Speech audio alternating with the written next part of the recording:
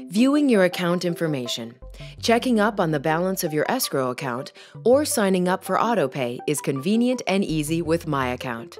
Let's log into My Account and take an in-depth look at what Ditech offers online. If you haven't registered for My Account or would like a refresher, here's a step-by-step look at how to do so. Click on the green Login button. On the registration page, fill in your information. When you're done, click Submit. Presto! Congratulations, you've registered for My Account. Now you can access your account through the login page. Don't forget you can find the green login button on every page of Ditech.com. When you've logged in, the first thing you'll see is the My Account dashboard. Here you'll see basic account information, including your account number, your payment amount, when your next payment is due, and where to sign up for online billing. Click on the menu to make a payment, review options for homeowner assistance, and access the Message Center. Click on any of the quick links near the bottom to see more account details. Here you can find information about escrow, payment history, 1098s, or other specific account details.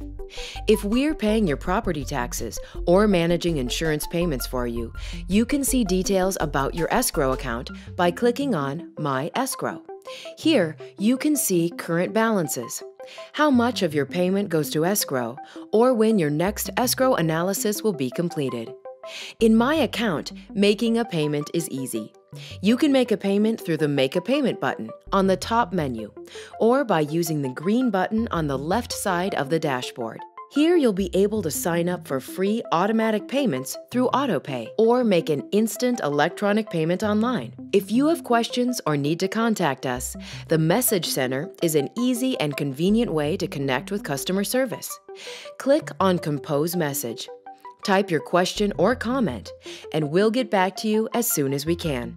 We hope that you find this information helpful and find My Account easy to use. If you have other questions about using the Ditech website, please feel free to contact us. We're here to help and would be happy to assist you.